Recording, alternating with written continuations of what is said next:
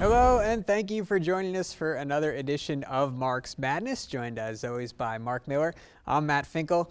Mark, we've got 80% of the season complete, the regular season, Mm-hmm. that is. So we should know what we're looking at at this point, right? starting to get a pretty good idea. Now, Absolutely. you know, there's a lot of the way the schedules are.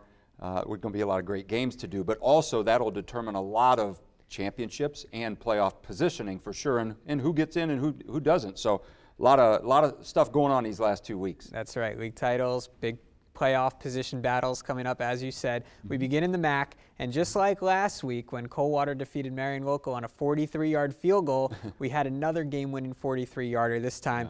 Minster over St. Henry, final score 24-21. Yeah, and that's a big win for Minster. St. Henry right in the mix there. And you know, uh, in the MAC, it, it seems to happen, but especially this year, the, the teams that are competing, not Marion Local, Coldwater, but the others that are having great years and maybe competing for a chance, the only teams they lose to are the, the defending state champs. Right. You know, and that's the case with, with Minster, St. Henry, Fort Recovery.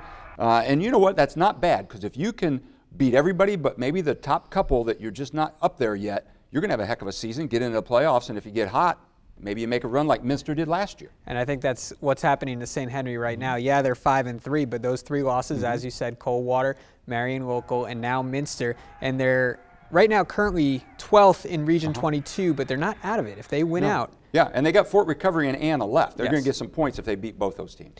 staying in the MAC, Marion Local and Fort Recovery playing a bounce back mm-hmm. game, both coming off losses, Yeah. and the Flyers shut them out. Yeah, a huge game for the Flyers. Uh, you know, very disappointing. They're used to winning, had that long win streak, so they had to kind of reload. But expect Coach Goodwin to be able to pull that off, and he did in a big way. That defense was phenomenal because Fort Recovery is good. That's a good bounce back win. The Flyers are still first in Region 22, while Fort Recovery drops to sixth in Region 26, but still time to move up there. Yeah, right there. And they got St. Henry and Versailles left, so there's some points to be had there too. Elsewhere in the MAC, Coldwater knocks off Versailles big 44 to 7. Parkway in a close one over DSJ 28 25, and Anna big over New Bremen by 40. Yeah, great win for Parkway. Nobody wants to see anybody go winless unless you're playing them. and, uh, you know, Coldwater already sealed up a home playoff game. That means they got lots of points in those rankings and, and uh, only giving up 41 points on defense, and that includes the game against Marion Local. So they, uh, and, and, you know, McComb scored a few on them too, so that's pretty good defense. Yes. Best in the area. Definitely. Let's go to the Northwest Conference now, where it's been up and down all year, and we're still trying to figure it out. And like we say every week, I think we're still on track for Spencerville Jefferson. They both won. Elsewhere, though, Bluffton over Ada, 27 21. Surprising score given what we've seen the last couple of weeks? A little bit, other than Mitchell Alt is healthy again through three TDs. With him, they're pretty good. Without him, you know, like most high schools, you lose your starting quarterback. Only Coldwater last year with Hemmelgarn can step right in there and just keep winning. But uh, yeah, he's he's healthy and he's playing well. And and uh, you know, Ada threw some interceptions. That hurts. You know, you get turnovers in a close game. But they're both good teams and both deserving to be in the playoffs. We'll see if they can both pull it off. Ada's still fourth in Region 26, so they would even host a, a playoff game should it have started today. Mm-hmm. Bluffton up to 10th in Region 22. That's a very competitive region, but they're only two spots out got a right chance, now. yeah.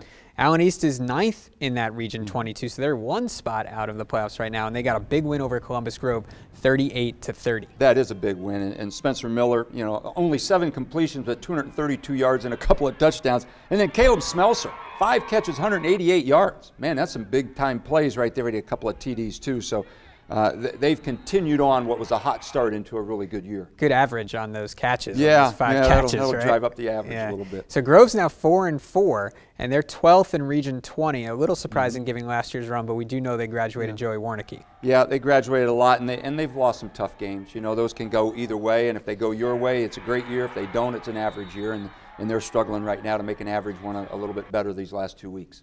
Won't count out the Grove Dogs at all. Nope, and nope, they're good. Coach Schaefer. They're competitive. And then Spencerville and Delphos Jefferson, as we mentioned, Spencerville's 8 and 0. They knocked off Paulding 50 to 16, another big win for them.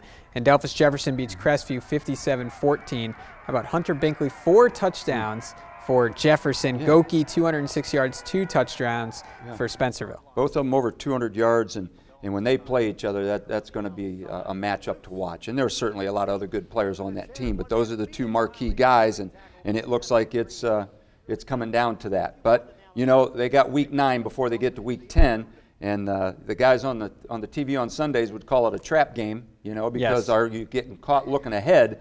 uh, with those, the coaches that those two teams have, I don't think they're going to look ahead. Right. And Crestview should mention, even though they're three and five, they would be in the playoffs right now, still sixth in Region 24. Isn't that something? They Yeah. could do what Delphos St. John's did last year, 4 6, get in the playoffs and, and maybe make a little noise. So uh, good for them, but uh, you know they got to win out. Yes. In the TRAC, Lima Senior and St. John's, one we were looking forward to. And we talked about this on Press Row as well.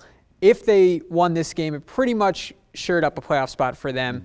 And they have Clay week nine. We're assuming a win Yeah. over Clay. And not only did they get the win, they did it by 20 points. Yeah, solid, solid game. And, you know, for all of last season and most of this season, we talk about offense, offense, offense, and all the firepower they have, and, and they deserved it because they're very good. Now we're starting to talk about defense. The offense is still playing. They scored 47 points. So they're really still playing well, but the defense is stepping up and making some great plays. And you talked about the kid from St. John's throwing for over 500 last year, 168 this year. We're going to look at some of the plays that'll show that defense off a little bit. But boy, you throw that explosive offense in with a shutdown defense. And I know they gave up 27 points, but they, they stopped them around the goal line several times. That's pretty good. That's pretty good let- team right there. Let's take a look at it right now. All Why don't right. you break down those defensive plays because this has certainly been an area of improvement for Lima Senior. This is a fourth down play. You can see they're right down around the goal line, and that's Jay Thomas. Another great game with 13 tackles, and and uh, he breaks through. You see him coming up the middle, and the, the guard has a decision to make. Did I take the guy on the right, the guy on the left? He took the guy on the right. Thomas made the tackle on the left. That snuffed out a scoring opportunity for St. John's. Now we're going to take a look on a third down play. They're up 14 to 10 when we look at this one, and we're going to see a sack. Again, this is Denia Morris getting through the line of scrimmage and running down the quarterback. And we know that quarterback's a pretty good athlete, but watch the acceleration once he gets past that guard. The guard just turns around and says, oh, I'll block someone else. Nah, too late. Sack, third down. That pushed him back away from the goal line again. So defense coming up big once they get down uh, with their backs to their own goal line. Now it's uh, fourth and eight and they're, they're going to throw it. We're going to show you a little pass defense here. See the pressure coming from behind. We'll see it again here. Watch the pressure from behind right here. That guy is going to trail him right there, get around the outside of that offensive tackle, and force the quarterback out of his pocket. And now let's see the defense. And who it is? Who is it? It's Jaden Walker. He's going to knock it away. Plus, even if he caught it, I think the guy was right there to make a tackle and maybe prevent the first down. Last one we're going to take a look at again. Jaden Walker, pass defense. Pressure does it all. I tell you, you force that quarterback out of the pocket. He throws the ball where he doesn't want to, threw it up for grabs. Jaden Walker comes down with it, and what a player he is. The numbers he's been putting up. Here we go again. Number seven off the corner. You feel him, you don't see him. You step up into the pocket like you're taught to, but your feet aren't under you. The ball floats. Nice interception. So That's some defense there. They definitely remembered what St. John's and specifically that quarterback did to them last year, and they were really well prepared with Frank mm-hmm. Crier, defensive coordinator. Mm-hmm. And that goes a long way, but we can't forget what they did on offense. Jaden Walker, two more touchdowns. DeMonte Lyles, two touchdowns. Darius Gordon threw for three scores. Rico caught two. Ruben caught one. They're explosive on both sides of the ball now, and that's going to be a potentially dangerous combination for upcoming opponents for the Spartans. You know, the best thing about all that is you named five guys. Yeah. You named five skill players that had great games and made serious contributions. That's why they're so good on offense. You can't game plan them. They got too many weapons. So they've got Clay coming up week nine, and then they'll finish the season against Central Catholic. Now, Toledo Central Catholic shut out Findlay 35 0 and we knew the Trojans' schedule was going to get a little more Yeah. difficult, and we've seen that. Tough finish. So week 10 now, that could be for a share of the TRAC title. Yeah, it, it probably will be. And they lost a couple early in the year, played some freshmen. Those freshmen aren't freshmen anymore. They've grown up. They're pretty good right now. That'll be a heck of a game to finish the season because, you know, defending state champions up there in, in Toledo. So they think they're going to make a run in the playoffs too. But Lima Senior getting poised, finishing strong this year as opposed to last year, fumbling right there at the end. Looking forward to see how they end up in Week 10. That should be an exciting game against Central Catholic. Moving on now to the Western Buckeye League, and Van Wert involved in another close game. this time they're on the winning end as they knock off Celina in double overtime, 34-28. Well, good for their psyche. You know, I mean, some of those guys would have been so disappointed they may not have been able to get back for these last two games, but very competitive, good. Uh, good season for them. It could have been a great season if they'd have won a couple other close ones, but they beat a really good Celina team here. Celina's still in good position. They're 4th in Region 10, would host if they can stay there, win out a couple more games, and, and they'll host a playoff game. Yeah, and they, got Shawnee and Kenton left. They're not going to get a lot of points, but they're going to get a couple of wins. Right, they should be able to at least get some victories. Yeah. Colin Smith had four total touchdowns in that win for Van Wert. Good to see him, the run pass Yep. threat, and Yep. be He's rewarded having a nice year. for that effort for sure.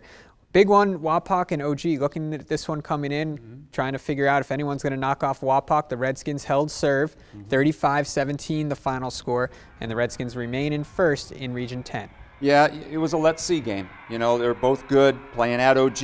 Let, let's just see what you got. Wapak, solid win. And, and we got to start talking about Cameron Laukin there as one of the best running backs in the area. Another 200 yard game and three touchdowns. Um, and some of the things that Ken Schreiner said about him. Ken's not overly uh, flowery. You know, Yeah. when he says it, he means it. And he said some really nice things about Cameron. Good player. Yeah, Rock's a very special player. Yeah. OG's down to fifth in Region 12, but they do control their own destiny for a playoff Mm-hmm. spot. Elida and St. Mary's left on the schedule for the Titans. Won't be easy. No, that'll be a tough finish yeah. for them. You know, but you know, again, there's points to be had there. There's points to lose too, so you got to win them. Bath over Shawnee 39-6. Then uh, that's three in a row now for Bath. Yeah, and, and they've got the best defense in the area right now, especially run defense. And they've got the two-headed monster on offense with Bo Gross and Caden Sullivan, and uh, they are pretty good right now. And credit Bill Garland and that staff because they had some very disappointing losses early on, and uh, they are on a roll right now. I would not want to play them right now. And remember, they played Wapak really tough, took them to the Mm-hmm. end. It was a pick six that sealed that one for the Redskins. I think they actually had the Redskins. They were leading them at half. Bath was so- Statistically, yeah, they, statistically, they didn't win, lose that game or the OG game, but Right. on the scoreboard they, They did, right. So they're 11th in Region 12 with Kenton and Elida left. They need some help to get in, mm-hmm. but it, it's been a nice run for Bath. It has. And the Bulldogs of Elida have also won three in a row. They Yeah. defeated Kenton 28 19. They have OG and Bath left on their mm-hmm. schedule, too. OG at home, at Bath. Yeah. It's always a rivalry game. That'll be two tough ones to finish, you know. But like you know, like we keep saying, if you win those games, you get lots of points and move up in the standings. So they've got a chance. It's not a great chance, but It's a long chance. shot, but mm-hmm. they're right now 12th in Region 8, Division 3. So, mm-hmm. you know, four spots Something out. to keep playing. Yeah. Yeah. A lot can happen. That's right. In the Blanchard Valley Conference, McComb beats Cory-Rawson 69 to 3. So this snaps the little Hornets run. We were getting excited for the Hornets. They were on a nice little run. Mm-hmm. Yes, but they were. They ran into one of the best football teams in the area, I think, right. because listen to this, Mark. Since their loss to Marion Local week one, they've outscored their opponents 334 to 17. Chris That's amazing. Alge's team is, is looking good. Yeah, they really are, and they're good. You, you, from when you get around and see the games and talk to coaches or talk to other media people, they'll say they're really big on the line and they're really strong. And you know, you know, Chris Alge's got some tricks up his sleeve, and you know that they play hard. You add all that together, and that's why they're where they're at right now, seven and one, and the only loss to Coldwater. First place in Region 24, and have, they've already clinched a playoff spot. Yep. So they'll be in the postseason, averaging 48 points per game. We can go on and on. They're, they're a good team. That's Lots of safe good to numbers say. for them. But they're not even guaranteed to win the BVC yet. That's because Liberty Benton has remained unbeaten in that Blanchard side, and a win over Arcadia 62 to nothing. Now the Eagles are up to eighth in Region 16. That's Division Five, and as I just mentioned, they're 4 0 in the Blanchard division. So that they play each other week 10. Liberty Benton That's and right. McComb. Yep. You know, that's right. Two tough ones left for Liberty Benton. Van Buren, who's playing Yes. really well. We'll talk about them in a second. And then McComb, and that's that's kind of the Northwest Conference, Spencerville, Delphos, Jefferson thing. We think that's going to determine it all week 10 up in the BVC, at least in that division. Right. And Van Buren, you just talked about it. They're playing well too. Look, don't look now. They've won five in a row. They're five and know, three. You really got to give them credit. And and the seniors, sure, the kids, yeah, but the coaching staff. When they started off 0 and 3, you could have sacked the bats and started thinking about next year. They didn't. And they've beaten some pretty good teams, and they've beat the, the teams that they should beat. They've beat them badly. They're playing well. At least 40 points scored in four straight. They're up to ninth in Region 20, and a good chance at getting into the playoffs if they can beat Liberty Bend. They'll pick up some points beating Liberty Yeah, they Bend. sure will. And if they could get into the playoffs again, then then they relive that thing like last year that they had planned all season. It didn't look like it was going to happen for the first month, but now it might. Right, rounding out the BVC, Leipsic 22-7 over Arlington. Riverdale gets the first win of the season, 28-0 over Vanlue. The BVC could have a handful of teams in the playoffs, like just like last year. Even though this year we've said it, it feels like the conference overall is down a little bit, but come playoff time, that might not be the case. That's right. I mean, maybe they're just better than the other teams around. And Leipsic looks like, uh, you know, they, they're three and five, but they're in fifth place right now. So, you know, good for them. Yes, absolutely. Get in any way you can. So let's close out the Week 8 recap with the Northwest Central Conference. Fort Loramie over Lehman 35 19. Mm-hmm. So they're both 4 and 4 now. USV beats Hardin Northern 36 7. Ridgemont 12 7 over Waynesfield Goshen. And Riverside shuts out Perry 39 0. So what do we have now at the top of this league? We've got a three way tie. Three way tie at 4 and 1, and it's all going to sort itself out. You know, USV's got Fort Loramie coming up. That's going to knock one of those guys out. Riverside's one that's kind of sitting there just waiting to see what happens. So, uh, you know, we're probably going to have a co-champion in that league. That's that's the way it's aiming. But you know, credit uh, Loramie for coming back and, and having a pretty good year, and, and Lehman too. You know, they, they both those teams started off in a rough way, and they've both come back to be competitive. Uh, of course, Loramie last week kind of separated the two of them, but. Um, that'll be interesting. Yes. Because some good games coming up. As That- you said, week 9 and 10, we're going to settle a lot of league titles, and then the playoff picture will take its shape. Yep. LCC also went on the road to Bluffton, Indiana, shut them out 23 0. Their playoff hopes are looking dim. 17th in Region 22 right now, which that's a little bit surprising, but their schedule's tough, and that Yeah, was if a you're going to go out of state, you might as well win. Bring Yeah, a shutout back along the way. So yeah, that's a good win. good for win them. for them. Yeah, it'd been a long bus ride back if they'd have lost. Definitely. All right, what are you looking at for week nine? Well, I just mentioned Fort Loramie and USV because it's it's two teams. It's playing for a co-championship. I like uh, the, the the games in the in the Northwest Conference we talked about earlier. Can Spencerville get by um, Allen East, and can Delph- Delphos Jefferson get by Allen or Ada? And then St. Mary's and Wapak, just because of the Doug Fry return back to Wapak for the first time, uh, that that could be a really good game. It'll be very physical. We know that. That highlights our rebroadcast schedule, and it begins Friday at 11 p.m. WPTLW right after the sports report. Battle of Doug Fry, St. Mary's versus Wapak. Friday, 11 p.m. on WOSN, St. Henry versus Fort Recovery. That's where you'll be, Mark. You'll be on the call for that one. Saturday, doubleheader versus Versailles versus Marion Local. Good one in the MAC. And then at 9 p.m., Spencerville versus Allen East. So looking forward as we make our way towards the postseason push. It should be a lot of fun, and we'll be right here to break it all down for you next week. Thanks for watching.